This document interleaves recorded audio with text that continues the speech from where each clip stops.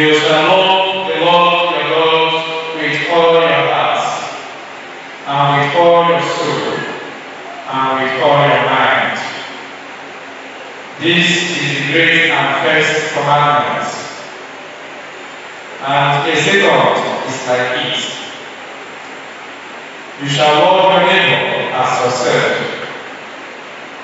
On these two commandments depend all the law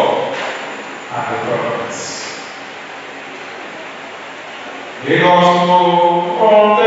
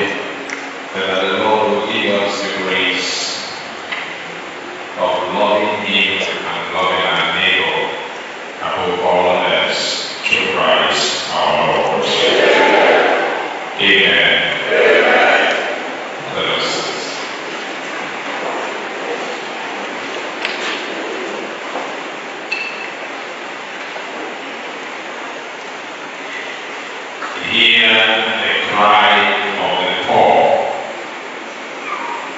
Hear the cry of the poor. The mood around us today and the last few days or weeks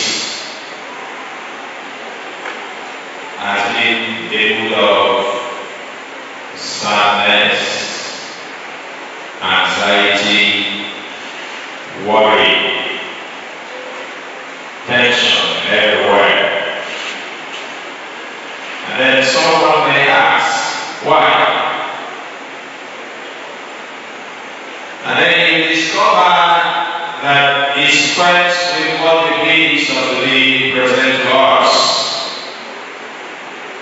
In the first reading, the Lord gave a direct instruction to the Jews and he said to them, Look, you must treat the stranger very well. And he reminded them of their past. Because you were once what? Strangers.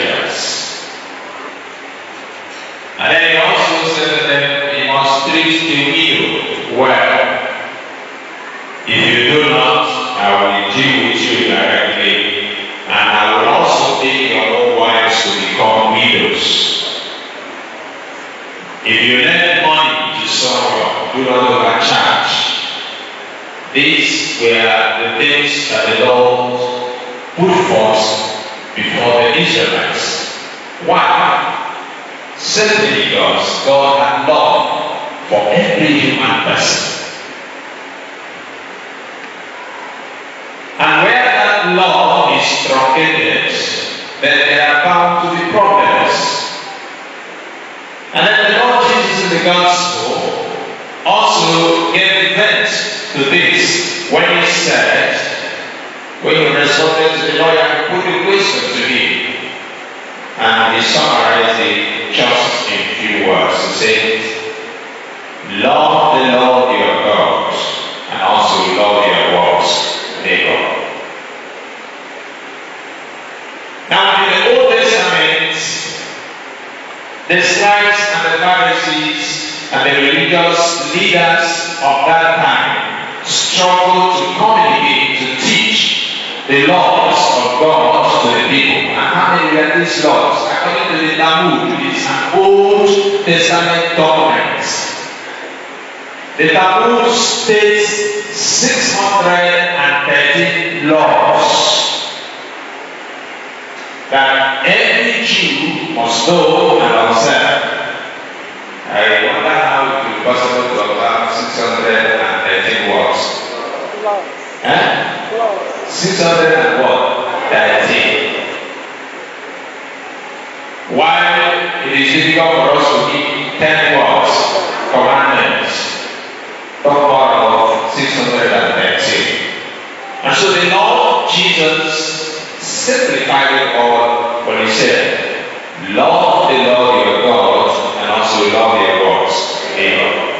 And they, they like you see in John's Gospel, chapter 13, verse 35 through 36, it says that through the show to one another, people will know that you are my words, disciples.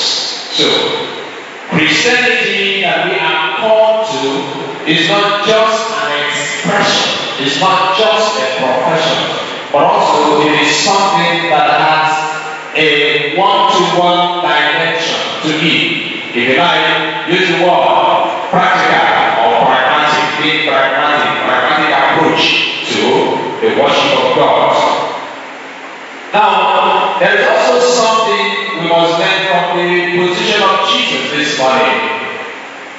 And that is the fact that our worship of God must be personal. Personal. Praise the Lord.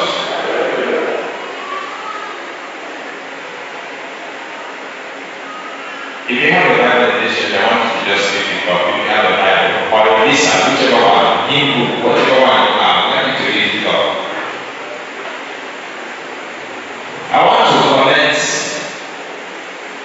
a visa from somebody. Okay, Capisa Lisa.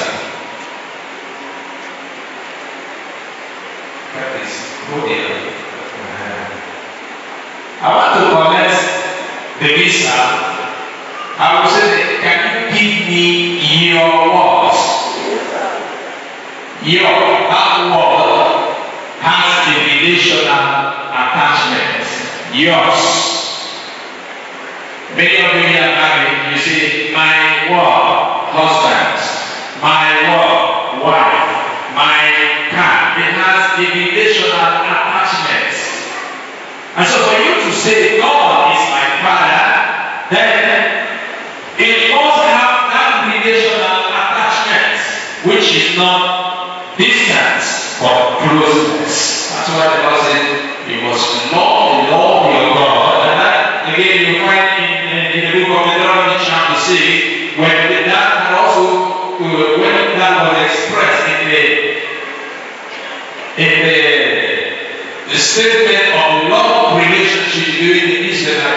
God, he says, you must love the Lord your what? God.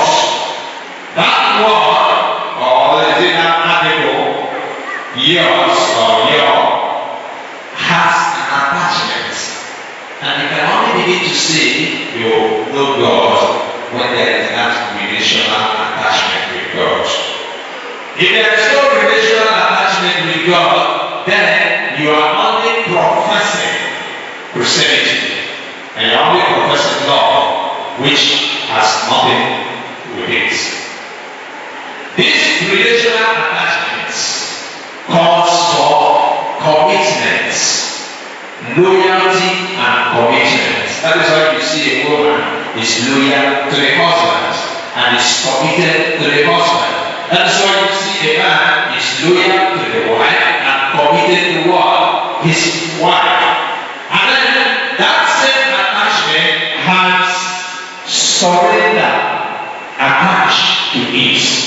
That's why you can give up something for the sake of your wife, for the sake of your children, because there is this attachment of love. And so that also applies to us and God. You cannot say I love him when there is no attachment. And that's why again the scriptures will tell us that unless you have a personal relationship or encounter with God, or the Lord will word, be born again, then you cannot say you know him. And so for that love that we profess to be true, then it must have that attachment. And this attachment or this love is downward. It's a down, it has a downward slope or a downward movement. When you love God above, then it has a downward relationship. On the other side, uh, when they talk about vertical and horizontal relationship. That is only way you can say that you love God. And so in the explanation of the Lord today, He makes us realize that your neighbor is important. So the question now is, who is my neighbor? Praise the Lord. Hallelujah. Who is my what? Neighbor. Maybe turn around. Who is sitting by your side? Eh? Do you know the person sitting by your side? Touch the person. You know the person?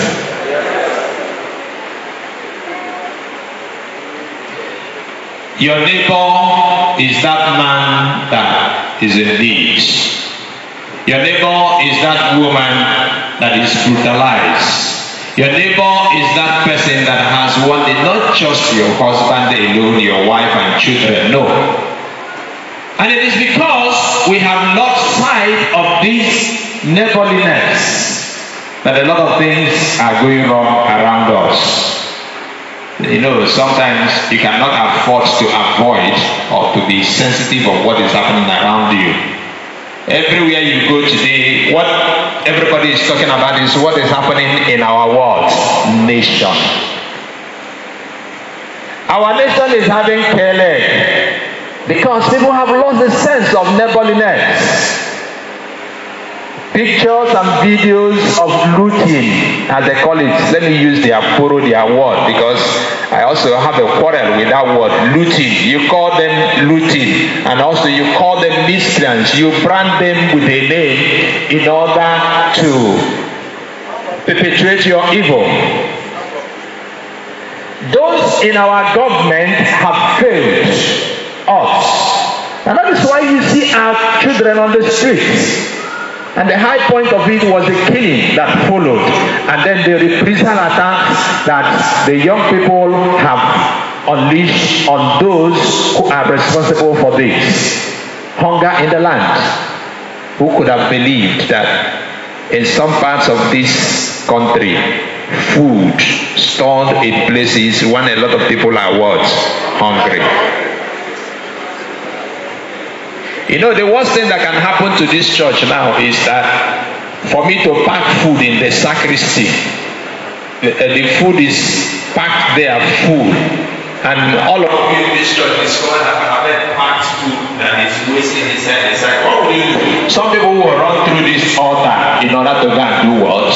Carry it.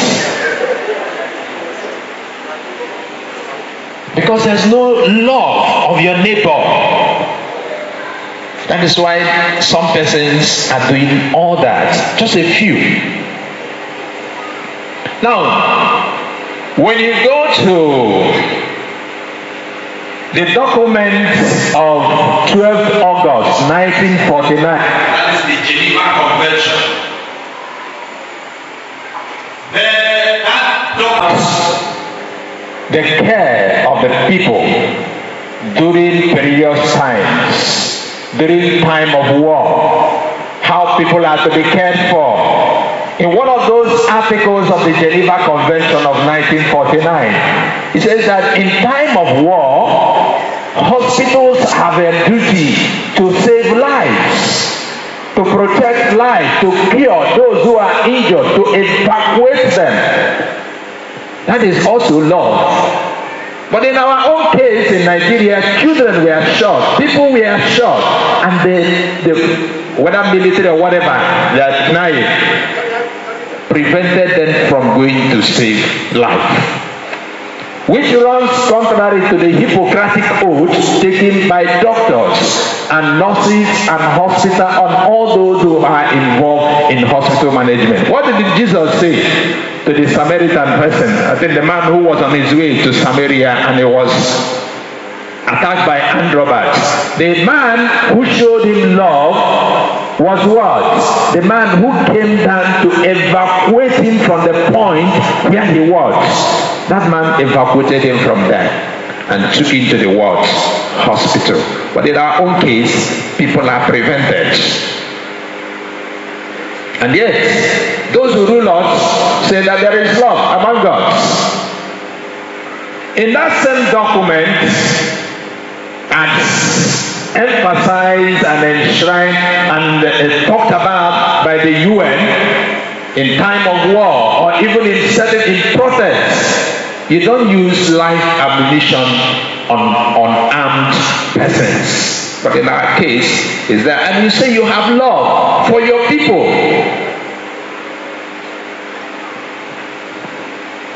But that happens. These are documented in the Child Rights Act. You also find the protection of children and even those who are growing. They have a right to so many things. They have a right to health. They have a right to good health. They have a right to good education. They have a right for everything. They don't need to be mis- misused or abused. You see a lot of you, you send out your children on the street, they carry pure water, motor hits them. That is an abuse of a child. But in this country, it happens. And today, the young people said, No, you're not showing us enough love. And they say, Why should you cry out? Remain where you are. Look, the Lord says this in His words. Psalm 146, verse 9 says, But like Jesus would warn, or the, yeah, the Lord will warn the Israelites in the first reading. He said, If you do, I will deal with you that book of Psalm Verse 9 of it says that the Lord protects the stranger and that the Lord sustains the widow and the orphan. So when you do not recognize them, God recognizes them. The Lord in our society today. He knows them. And I bet you, many who have shed the blood of widows, orphans, and all that, they will pay for it.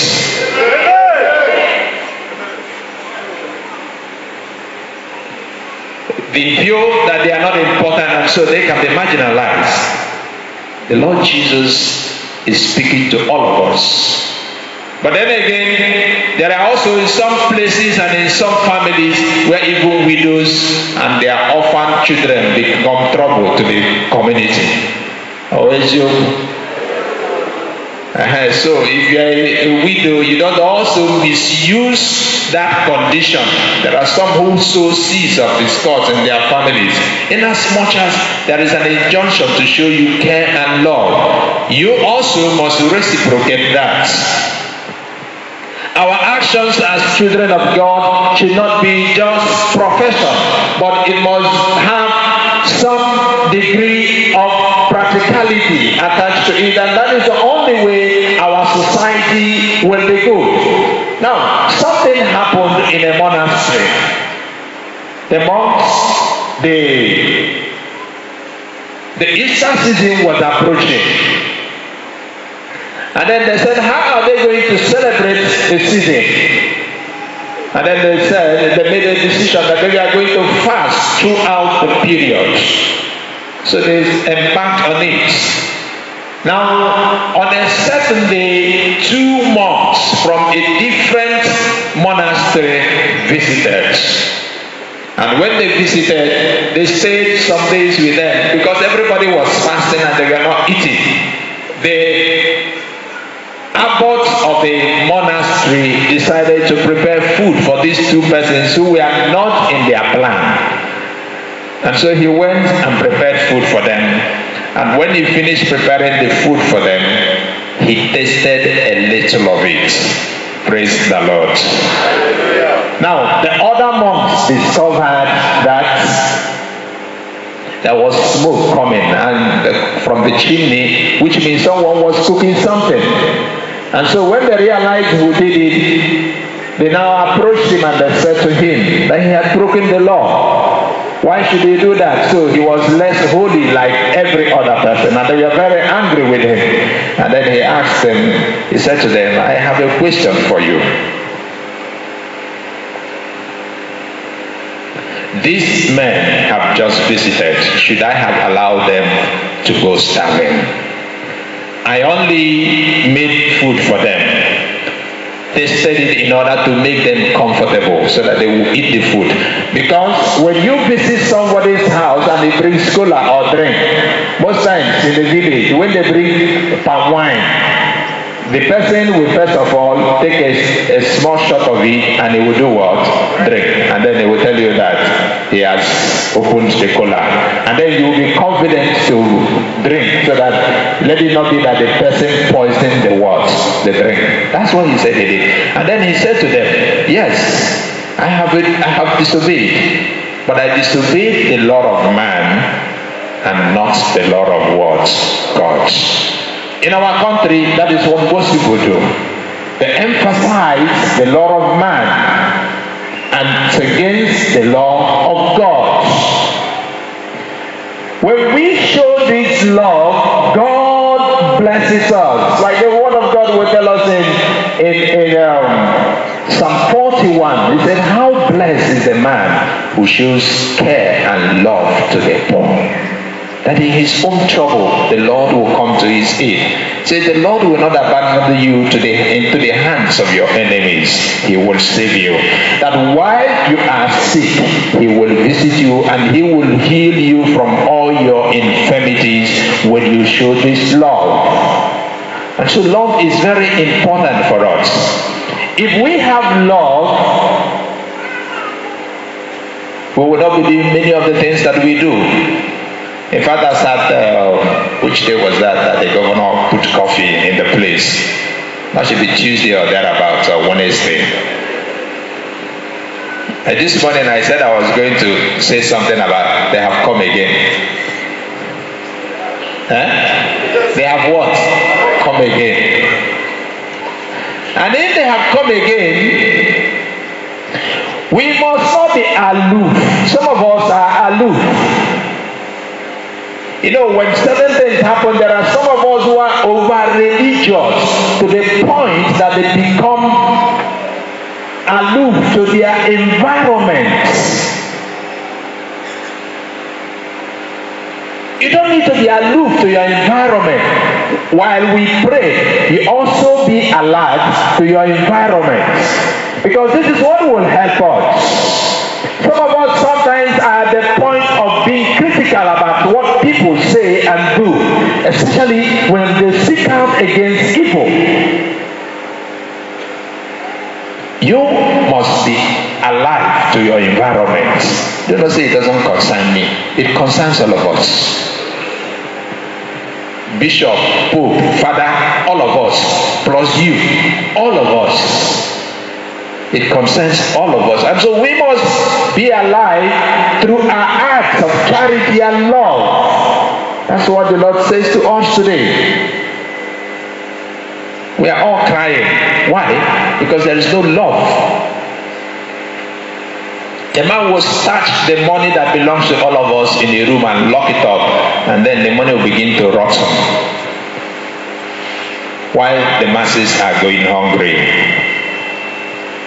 I pray that the Lord will convert us.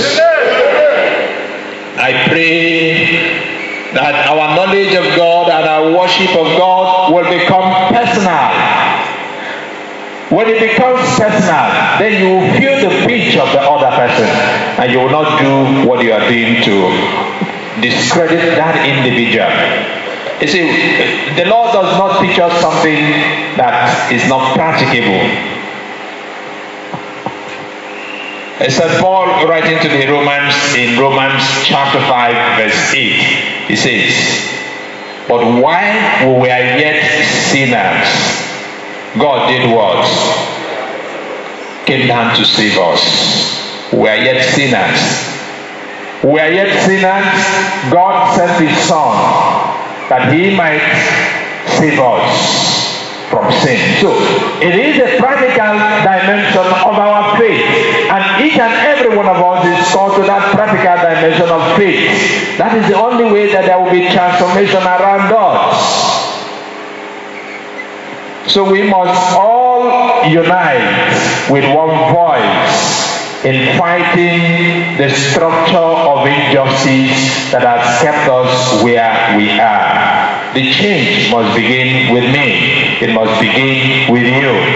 When we show this love to one another, then our world will be better. A man went to a, a particular community he left that particular community and went to the next community. On arrival to that next community, he met someone and he asked, How are the people in this community like? And the man he asked the question asked him, The people in the other community that you just left, how are they? He said, They are receptive, they are kind, they are nice. They are wonderful people. Then the man answered him, Those in this community, you will also find out that they are what? Like that. What do you think of yourself is eventually what they end up thinking of the next words person. If you have a charitable disposition, you will also see the need to be charitable to someone. If you feel God loves you, then you will also see the need to love someone else. When I love myself, when I have love for myself, I will have love for the kids. I will have love for the other person there. I will have love to the other person and it's distributed all over. And what will not benefit you, I will not do it to you. That is the only way our world be good. Not when you think evil of yourself. A lot of people who are wicked to themselves, you see them being wicked to every other person around them. Praise the Lord. Praise the Lord. A man who does not buy good clothes for himself, who does not dress well, and who does not see the need to eat good food will be miserly in giving money to the wife to cook a good soup. Am I right? Huh? Women, are you in this church? I think I'm saying your mind. Yes. Such people find it difficult. So, love, they say, begins at what? It begins with me. And what once is found in me, then it will be translated to all of us. So pray that the Lord will give us that grace of love. Just like the Lord said today. So that his mercy and his love will be unto us. Peace be with you.